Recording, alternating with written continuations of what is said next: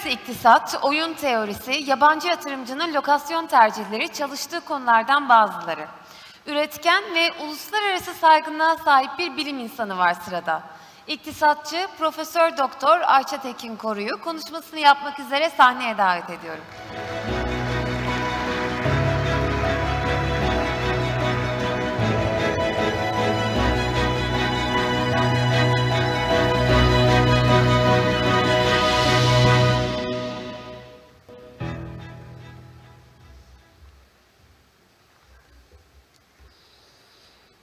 Herkese merhaba. İzmir İktisat Kongresi'ne Türkiye ekonomisi derslerimizde biz e, iktisatçılar oldukça geniş yer veririz. E, zira savaş meydanlarında binlerce can kaybedilerek e, kazanılan siyasi bağımsızlığımızın iktisadi bağımsızlıkla tamamlanması yolundaki ilk kolektif adımdır. Bugün 100 yıl sonra tekrar aynı kongreyi yaparken bu kongrede bulunmaktan büyük şeref duyuyorum. Ve bu kongrenin de 100 yıl öncekinin ona yakışır bir kongre olmasını temenni ediyorum.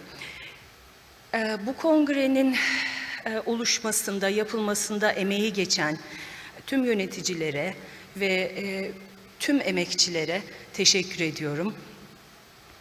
Dediğim gibi bugün burada olmaktan son derece mutluyum. Fakat bu mutluluk bir taraftan da oldukça buruk bir mutluluk. Ee, çünkü ülkemiz korkunç bir deprem felaketini e, yaşayalı daha altı hafta olmadan o kırılgan bölgede oranın insanları üstüne üstlük bir de sel felaketi yaşadılar. Ee, ben e, bu felaketlerde hayatını kaybeden yurttaşlarımıza Allah'tan rahmet, yakınlarına başsağlığı ve yaralılara acil şifalar diliyorum. Şimdi hem ekonomik hem insani bir yıkımın tam içindeyiz şu anda. Ee, ve ben hasbel kader şöyle veya böyle şu şekilde veya bu şekilde akademik hayatının neredeyse tamamını küreselleşme çalışmış birisi olarak bugün burada küreselleşmeyi yeniden düşünmek üzerine konuşmak istiyorum. Ve bunu yaparken de dört tane soru soracağım. Bir, küreselleşme nedir? İkinci soru, beklenen faydayı sağlamış mıdır? Üç, gelişmekte olan ülkelerin gelişmiş ülkelere yakınsaması ne durumdadır? Ve dört, kontrolsüz küreselleşmenin riskleri nelerdir? Bunları cevapladıktan sonra Türkiye'nin son 40 yıldaki küreselleşme macerasında gösterdiği performansı kısaca tartışıp peşinden de e, buradaki pek çok konuşmacı gibi e, kendi bu konudaki kendi fikrimi söyleyerek bitirmek istiyorum e, konuşmamı. Şimdi ilk soruyla başlayalım. Küreselleşme nedir sorusuyla. Bunu ekonomik küreselleşme olarak anlıyorum ben ve bu konuşma sırasında da bu arada sabahtan beri burada olan e, dinleyiciler e, hem Çağlar Keyder hocayla hem Uğur Gürses'le pek çok yerde kesiştiğimizi fark edecekler. Çünkü temelde çok birbirine benzer problemleri konuşuyoruz. Ben daha küreselleşme tarafını konuşuyor olacağım.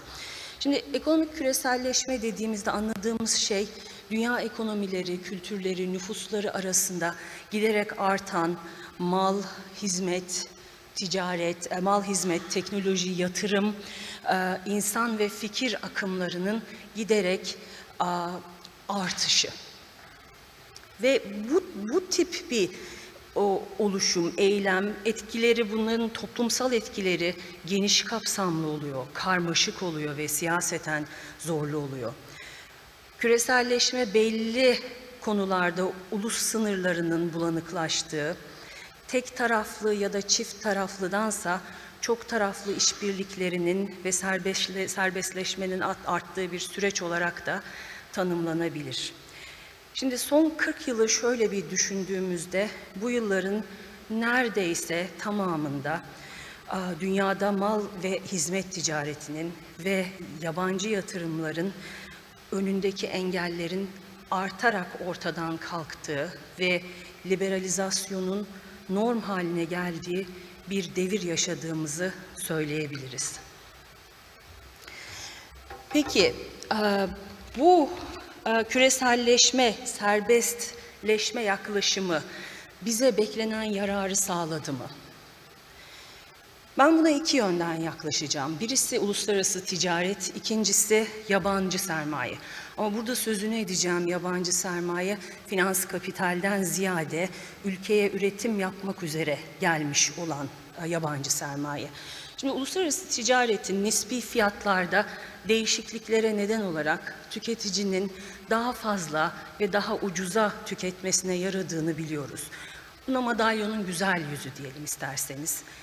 Tüketicinin refahının artması istenesi bir şeydir, güzel bir şeydir. Fakat madalyonun bir de çirkin yüzü var ki orada borçla finanse edilen, doğayı tahrip eden, kısacası sürdürülemez tüketim kalıpları var. Yabancı sermayeye gelince doğrudan yabancı yatırım olarak geldiğinde geldiği ülke ekonomisine önemli faydalar sağlayabileceği kanallar var.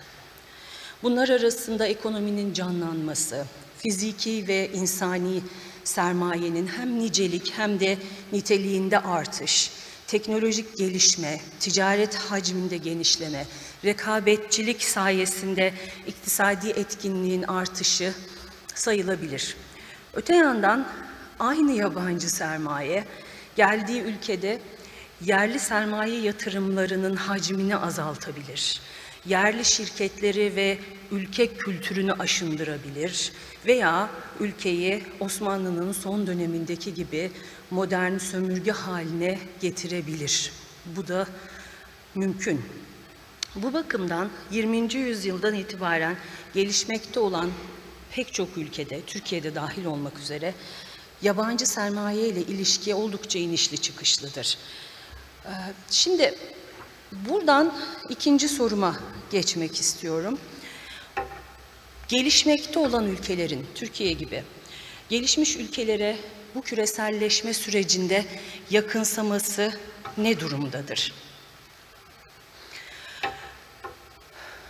Şimdi serbestleşmenin en yüksek seviyelerine vardığı, küresel değer zincirlerinin günlük sözcük dağarcığımızda artık yer edindiği şu son birkaç on yılda küresel boyutta yoksulluğun önemli boyutta azaldığını, gelişmiş ve gelişmekte olan ülkeler arasındaki gelir bakımından uçurumun bir miktar kapandığını söylemek mümkün. Ancak bu yakınlaşma ne her yerde eşit olarak dağılmıştır ne de ülke içindeki gelir dağılımları her ülkede olumlu anlamda etkilenmiştir bu süreçte. Dolayısıyla buradaki karne biraz karışık. Elbette eşitsizliğin tek sebebi küreselleşme değil. İster kendi başına olsun, ister küreselleşmenin kayığında gelsin, teknolojik değişim esasında ve bu değişimlerin iyi yönetilemiyor olması eşitsizliğin oluşumunda e, büyük etki gösterir. Kontrolsüz küreselleşme ve iyi yönetilme, iyi yönetilemeyen teknolojik değişim sebepleriyle giderek artan eşitsizlik son dönem popülizminin temelindeki e, argümanlar arasındadır. Bir diğer taraftan eşitsizlikler sebebiyle afetlerden kaynaklanan kırılganlıklarda dünya genelinde büyük artışlar vardır. Buna hem küresel olarak hem de 6 Şubat'ta maalesef kendi ülkemizde acı acı tanıklık ettik. Bu tam bu noktada ben afet ve felaket arasındaki farkı açıklamak istiyorum. Maalesef biz bunları eş anlamlıymışız gibi gibi kullanıyoruz fakat değil. Şimdi deprem, sel, tsunami, orman yangınları ya da kuraklık gibi doğa kaynaklı veya nükleer sızıntı, biyoterör gibi insan kaynaklı afetler vardır. Bunların bir kısmı kaçınılmazdır, bir kısmı önlenebilirdir. Bu afetlerin iyi yönetilememesi felaketle sonuçlanır. Yani felaket kader değildir.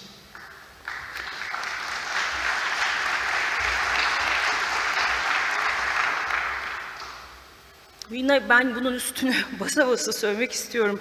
Felaketler toplumun üzerinde etkili olan dışsal, öngörülemeyen olaylardan ziyade iktisadi, siyasi ve toplumsal dinamiklerin yönetilememesinden kaynaklanan kalkınma sorunlarının tezahürleridir aslında.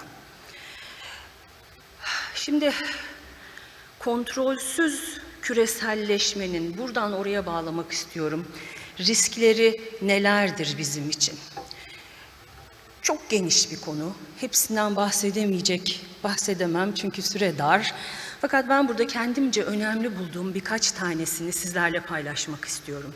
Ben bu konuya bir ekonomik küreselleşmenin temel unsurları açısından bakacağım. Bir de küresel müşterekler açısından bakacağım. Şimdi ilkindeki büyük risk birbirine aşırı bağımlılık.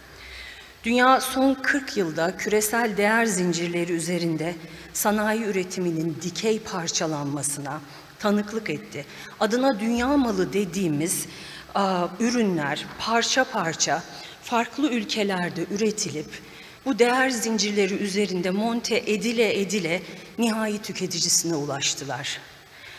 Ve son yıllarda uluslararası ticaret ve yatırımların büyük bölümü bu tedarik zincirleri, bu değer zincirleri üzerinde gerçekleşti. Ve bu bir norm haline geldi neredeyse.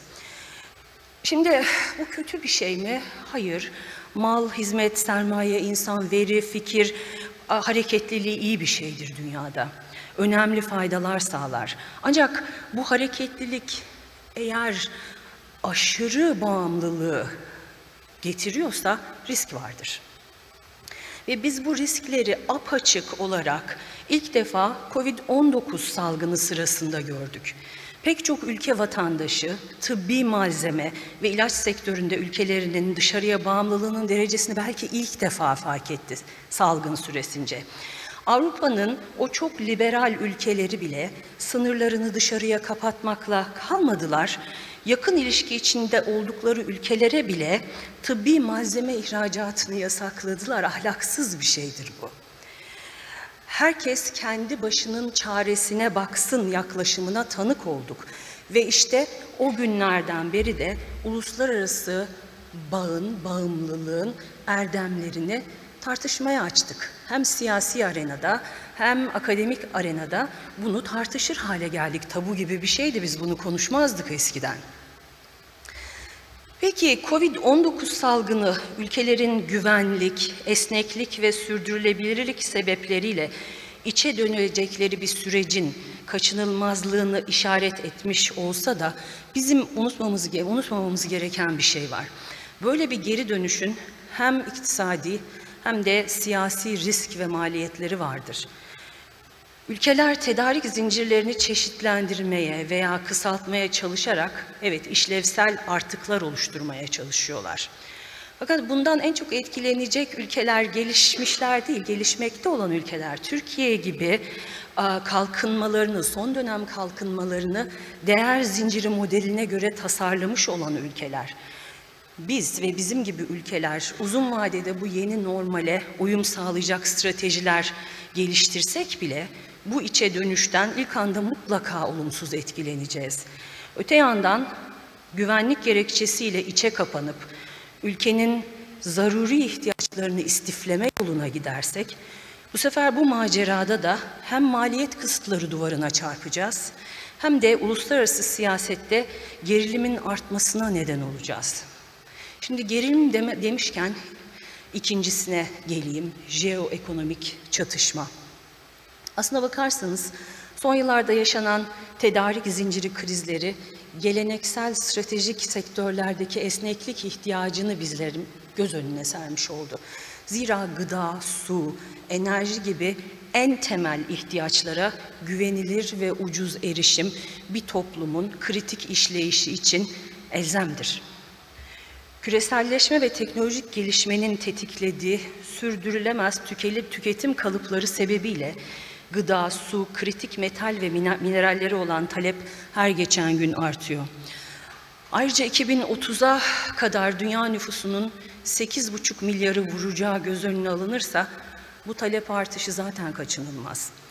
Küresel ufak tefek bazı rakamlar vereyim sizi rakama boğmak istemiyorum çok. Küresel gıda üretimi yılda yüzde 1,1 artıyor. Tüketim yüzde 1,4 artıyor yılda. Yani açık var. Şimdi, bugün bile. Su talebiyle arzı arasında büyük bir uçurum var. 2030 yılına kadar bu uçurumun yüzde 40'a kadar genişleyeceği tahmin ediliyor. Grafit, lityum ya da kobalt gibi kaynakları olan yıllık talebin 2050 yılında bugünün dört katına çıkması bekleniyor. Dolayısıyla doğal kaynaklar konusunda ortaya çıkan arz ve talep endişeleri giderek büyüyen bir alarm alanı haline gelmiş durumda. Dahası orta vadede gelişebilecek potansiyel çoklu krizler bekleniyor. Bundan az evvel bütün konuşmacılar aslında bahsettiler. Bu krizlerin ölçeği neye göre belli olacak? Bir, küresel işbirliğinin derecesi, iki, düşük karbona geçişin hızı. Farklı senaryolar için Türkiye Cumhuriyeti'nin hazır olması lazım. Bu krizler geliyor kapıda. Ne ölçekte ne büyüklükte gelecek bilmiyoruz.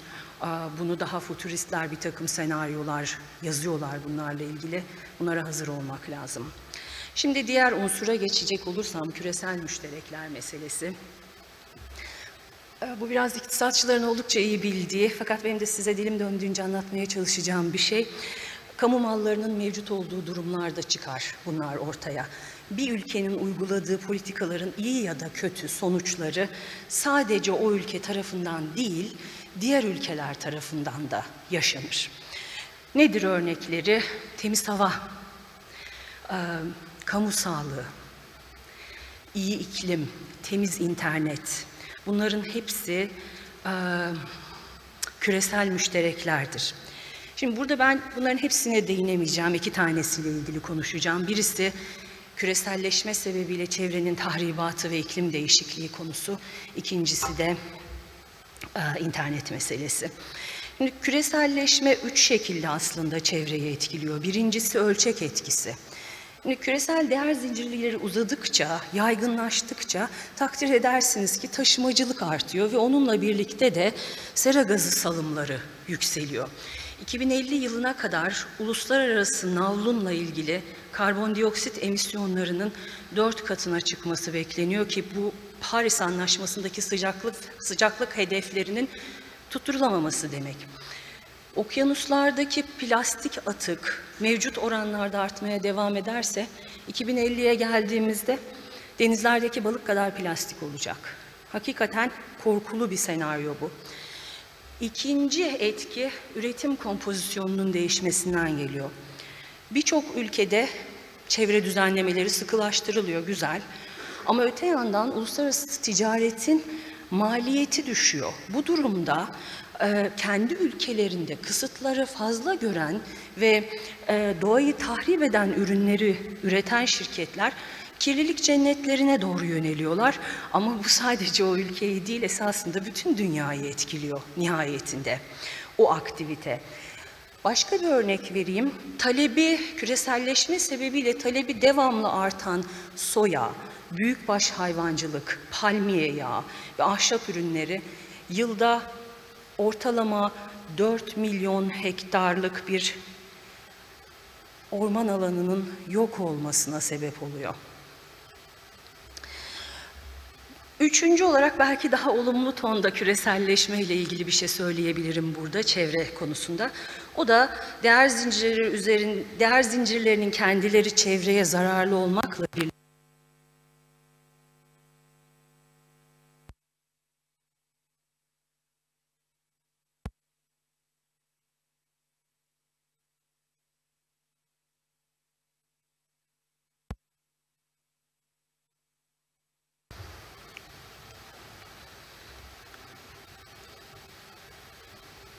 Oldu mu? Tamam.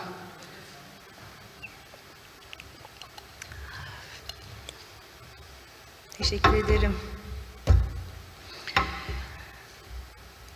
Üretim tekniklerindeki iyileştirmeleri de teşvik edebiliyor bu zincirler üzerindeki hareket. Dolayısıyla bir takım yeni buluşlarla e, çevre dostu yöntemlerin geliştirilmesi mümkün. Şimdi son olarak artık internetten söz edip Türkiye'ye geleceğim. Son 10-15 yıldır büyük teknoloji şirketlerinin Facebook, Google, Microsoft, Twitter veya işte birkaç başka şirketin internette gördüklerimize ve duyduklarımıza hükmettiğine biz aslında her gün tanık oluyoruz. Yüz milyonlarca insanın dünya hakkındaki algısı şekillendiriliyor. Büyük miktarda kullanıcı verisi toplamak ve dijital reklam satışları yoluyla kar elde etmeye dayanan bir iş modeli bu. Big Tech'in iş modeli. Bu modelde duygusal manipülasyon kullanıcı katılımını en yüksek seviyeye, seviyeye çıkarıyor. Böylece etkin veri toplanıyor ve daha yüksek karlar sağlanıyor. Bunun sonucu ne? Dezenformasyon, öfke ve güvensizlik dolu bir çevrim içi ortam. Yani küresel bir müşterek olan internet kötüye kullanılıyor. Bunun hem jeoekonomik çatışmaya gen vurmak hem de bu platformların küresel ölçekteki tüketicilerini korumak için e, kamunun, devletin harekete geçmesinin gereken bir alan olduğunu düşünüyorum. Burada kastettiğim yasaklamacı bir zihniyet değil fakat e, bunu yapmanın yolları var. Ve bu düzenlemelerin evet hiçbiri kolay değil ama son derece yetkin, liyakate, bilime, plana, ölçme ve değerlendirmeye dayanan, işbirliği yapmaktan çekinmeyen demokratik yönetimlere ihtiyacımız var. Hele de bizim. Şimdi tüm bu cevapları arka plana alıp ben kendi memleketimizin bu 40 yıl sonundaki performansına ilgin, ilişkin birkaç şey söylemek istiyorum. Uluslararası ticaret karnemize baktığımızda şunu görüyoruz. Türkiye bu süreçte Türkiye'nin ticari açıklığı etkileyici bir biçimde 8'e katlanıyor. Buradaki önemli eleştiri ihracat büyümesinin ithalattaki büyümeye bağlı olması ve bunun yarattığı yüksek cari açık sorunu. Bir diğer taraftan her ne kadar küresel değer zincirleri üstünde sınırlı imalat sanayi mallarından ileri derecedeki imalat sanayi mallarına ve hizmetlere ilerlemiş olsak da hala dünya ortalamasının altındayız bu konuda. İkinci diyeceğim, son 40 yılda ihracata konu olan mallar daha rekabetçi hale geliyor ve 1979'da yüzde 0,15 olan dünya ihracatındaki payımız 7 kat artarak bugün yüzde 1,05'e çıkıyor. Fakat dikkatinizi çekmek istediğim şey başka bir şey, oradaki yeşil çizgi. Aynı dönemde dünya gayri safi yurt içi hasılasından aldığımız pay yüzde 0,89'dan yüzde 0,84'e geriliyor. Aslında çok da iyi bir şey yapmamışız. Ticarette çok genişlemişiz kendi çapımızda. Yedi katına çıkarmışız. Ama milli hasıla payımızı bırakın yerinde saymayı geriye gitmiş. Bu tablonun sonucunda son dönemde ihracatın teknoloji kompozisyonunda önemli ilerlemeler olduğunu da söyleyemiyoruz. Türkiye hala alt orta teknolojik sofistikasyonda ürünlerin ihracatçısı konumunda. Yüksek teknolojili ürün ihracatımız son derece düşük. Yerinde saymaya devam ediyor. Ürün kalitesine gelince ha orada biraz iyi haberlerim var. Avrupa Birliği'ne entegrasyon çabalarının meyvasını verdiği bazı sektörlerimiz var. Tarım ve gıdada, otomotivde, elektrikli eşya ve makine ekipmanda kalite bakımından önemli ilerlemeler elde edebildik. Ticarete ilişkin son olarak Türkiye son 40 yılda ticaret destinasyonlarının sayısını ciddi ölçüde artırıyor. Yüzlerce ülkeyle ticaret yapmaya başlıyor. İhracat yoğunlaşma endeksinde yükselen diğer ekonomilere göre daha iyi performans sergiliyoruz. Bunlar iyi şeyler. Fakat e, e, doğrular, doğrudan yabancı yatırımlar konusunda aynısını söyleyemeyeceğim. Şimdi erken cumhuriyet dönemine dönecek olursak o zaman ağırlıklı olarak fiziki sermaye oluşumu ve kalkınmanın finansmanı için isteniyor yabancı sermaye ama bu sadece 1920'lerde olur, 30'lardan sonra kapanır zaten. Sonrasında ise teknoloji transferi için, istihdam yaratma potansiyeli için, cari açık finansmanı için istenilir yabancı sermaye. Fakat çıkarılan bütün davetlere rağmen yabancı sermaye yani doğrudan yabancı sermaye Türkiye'ye ne hayali kurulan miktarlarda ne de özlem duyulan niteliklerle girer. Bu grafikte de açıkça gördüğünüz gibi yabancı sermaye Türkiye'de Cumhuriyet'in ilk 70 yılı boyunca havalanamaz. Takip eden 10 yılda kanat çırpmaya başlar. Son 20 yılda ise kah dikey yükselip kah pikeye geçerek çok taşkın bir seyir izler. Bir başka deyişle uzun yıllar hareketsizlikten sonra son 20 yılda ortaya çıkan yüksek irtifa maalesef istikrarlı bir görünüm arz etmez. Aslına bakılırsa ben bunu ufak bir benzetmeyle anlatacağım size. Uzun yıllar boyunca Türkiye'de yabancı sermaye mecburiyet icabı eve davet edilen ve misafir olduğunda da huzursuzluk yaratabilecek menfaatperest bir konuk muamelesi görür. Bu tedirginlik hane kültürünün bir parçası haline gelir ve uzun yıllar devam eder. Evin içi de huzurlu değildir. Bir türlü de olamayacaktır.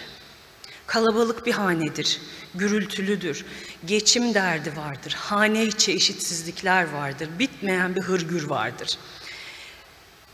Yarım ağız davet edilen kimi fırsatçı, kimi iyi niyetli yabancı konuklarsa olur da misafir olurlarsa türlü çelişkiler içinde ağırlanırlar. Bazısı uzun saatler oturur, bazısı arkasına bakmadan kaçar, bazısı eve zarar verir, bazısı evin refahını artıracak davranışlar içindedir. Uzun lafın kısası, Cumhuriyet neredeyse ilk 80 yılı boyunca yabancı sermaye ile bu minvalde bir ilişki kurar ve bunun sonucu da burada gösterilen düşük performans olur. 2021 yılı sonu itibariyle Türkiye'deki yabancı sermaye stoğu sadece 120 milyar dolardır. Bu miktarla Türkiye gelişmekte olan ülkeler içinde pastadan yüzde birlik bir dilim alır, dünya genelinde ise yüzde 0,3'lük bir dilim alır, pay alır. Peki, nerelerde iyileşmelere ihtiyaç var? Bunları da söyleyip konuşmamı sonlandırmak istiyorum. Birincisi, dünya ekonomileri önümüzdeki yıllarda tedarik zinciri krizlerini açma, aşmak için işlevsel artıklarını çoğaltarak birbirine daha az bağımlı olma patikasına girebilir.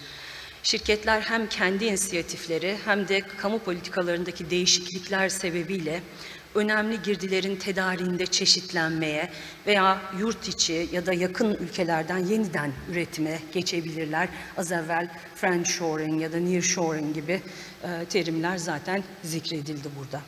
Böyle bir durumda Türkiye'nin dış ticaret hacmini genişletmekteki başarısını ihraç ürün gamının teknoloji yoğunluğunu da genişletmekte göstermesi, kalite merdiveninde daha fazla tırmanması gerekir. İkinci olarak söyleyeceğim. Şunu bir kere katiyetle söylemek mümkün. Ekonomik entegrasyon küreselden bölgesele veya ikili düzeye de kaysa devam edecektir. Tamamen içe kapanma gibi bir şey söz konusu olamaz bugünün dünyasında artık. Bu bağlamda über serbestleşmecilerin bugünlerdeki poster çocuğu haline gelen derin bütünleşme anlaşmalarına Türkiye'nin tedbirli yaklaşmasında fayda vardır. Bu anlaşmalar uluslararası ticareti ve yabancı yatırımları artırmak gayesiyle devletin kendi mevzuatını ve kurumlarını değiştirmesini içerir. Bunun aracı amaçlaştıran bir yaklaşım olduğunu düşünüyorum ben. Küreselleşme toplumların refah, istikrar ve kaliteli hayat gibi amaçlarını gerçekleştirmek için bir araçtır, amaç olamaz. Bir diğer taraftan 2018'den bu yana tüm yabancı sermaye girişlerini şöyle bir baktığımızda, bu tabloya baktığınızda göreceksiniz. Yarısı gayrimenkul. Tekrar ediyorum, yarısı gayrimenkul. Nereden geliyor? Zengin körfez ülkelerinden, Rusya'dan, Buna sahiden yabancı yatırım diyebilir miyiz biz? Yabancı sermaye yatırımı diyebilir miyiz? Cari açık finansmanından başka hiçbir işe yaramayan bu tür bir yatırım bırak yeşil bırakın yeşil dönüşümü ne istihdam yaratmak e, ne de teknolojik dönüşüm gerçekleştirme potansiyeli var. Dolayısıyla yabancıların gayrimenkul yatırımlarını cesaretlendirmemelidir Türkiye Cumhuriyeti kanımca. Bilakis zorlaştırmalıdır. Eğer aynı patikada devam edecekse bu tip yatırımlara doğrudan yatırım dememelidir en azından. Üçüncü olarak çok yakın bir gelecekte yabancı sermaye yatırımları konusunda başat olması beklenen yeşil mavi ekonomi yatırımlarından söz etmek istiyorum. Bunlar Türkiye için önemli bir hedef olmalıdır. Türkiye'nin en büyük yabancı sermaye yatırımcısı, en büyük ticaret ortağı AB'dir ve hepimizin bildiği üzere çok yakında sınırda karbon düzenlemesini hayata geçirecekler ve emisyon ticaret piyasalarını etkinleştirecekler. Bu süreçte ortaya çıkacak fırsatlardan faydalanmak lazım. Böylelikle hem sürdürülebilir büyüme pratikleri hayata geçirilecek hem de Türkiye'nin ikinci yüzyılına böylelikle sağlam adımlarla girebilecek, çevreyi şimdiye kadar maruz kaldığı tahribattan koruyan, yeşil ve mavi ekonomi yatırımlarıyla kapsayıcı istihdam yaratılabilecektir. Dördüncüsü, küreselleşmiş ekonomik kalkınma modeline uyum sağlamış olan birinci yüzyılın Türkiye'si, üretimini, uluslararası ticaretinin kilit noktalarını ve aldığı yabancı yatırımları deprem riski olan çok ciddi çok ciddi deprem riski olan bölgelerde kümelemiş durumdadır. Bu tercihi yapmıştır. Evet, evet bu bir tercihtir. Bu bir zorunluluk değildir. Bu sebeple bu bölgelerin aldığı göç sebebiyle yaşanamaz metropoller haline geldiğini zaten büyük şehirlerde yaşayan bizler Ankara, İstanbul, İzmir hepimiz acı acı yaşıyoruz. Bu pratiğin derhal terk edilmesi, insan hayatını merkeze alan sürdürülebilir ve kapsayıcı şehirleşme kalıplarının norm haline gelmesi ve bununla ilintili olarak istihdam alanlarının en az zarar görecek biçimde dönüştürülmesi elzemdir. Beşinci ve son olarak küreselleşmenin hem nedeni hem de sonucu olarak görülebilecek ve bir küresel müşterek olduğunu düşündüğüm internet. Büyük teknoloji şirketlerinin tekel güçlerini ellerinden almak Türkiye'nin elinde değil. Fakat hiç olmazsa dijital reklamcılığı vergilendirerek Big Tech'in iş modellerini Türkiye, Türkiye'de değiştirebilir bir miktar. Böylece bu platformların kullanıcılarına özellikle de savunmasız çocuklara ve gençlere daha fazla zarar verilmesi önlenebilir. Küreselleşmeye ilişkin yeniden düşündüğümde ve bugünün konusuyla aslında bağdaştırdığımda zor söylenen bir sözcük ama vicdanlı küreselleşme demek istiyorum. Ülkelerin işleyişinde çoğulcu demokratik süreçler sonucunda ortaya çıkmış olan ve toplum tarafından kabul gören iç piyasa pratikleri vardır. Eğer küreselleşme bu iç piyasa pratiklerini tehdit eder hale geliyorsa, devlet iş gücü piyasasından vergilemeye, ulaştırmadan dijitalleşmeye kadar pek çok alanda ulusal tedbirler almakta özgür olmalıdır. Böyle bir kabulle düzenleme yapmak hem serbest ticaret çığırtkanlarını hem de korumacılık tellallarını kontrol altına alma potansiyeline sahiptir. Özetle tüm taraflarca kabul gören, iyi tasarlanmış bir küreselleşme pek çok bireyin kaybedenler kulübünde olduğu alanlardan uzak durmalı ve küresel işbirliğinin büyük kazanımlar sağlayacağı alanlara odaklanmalıdır. Yeni küresel kurallar oluşturmaya yönelik çaba, iklim değişikliği, kamu sağlığı ve kamuya fayda sağlayan internet de dahil olmak üzere ekonomik olmayan alanlardan gelebilmelidir. Ve ikinci yüzyılında Türkiye Cumhuriyeti bu ve benzeri tercihleri yapabilecek demokratik ortama yurt içinde egemenlik hakkına ise uluslararası zeminde sahip olabilmelidir diyerek sözlerimi bitirmek istiyorum. Hepinize saygı, hepinizi saygıyla selamlıyor, esenlikler diliyorum.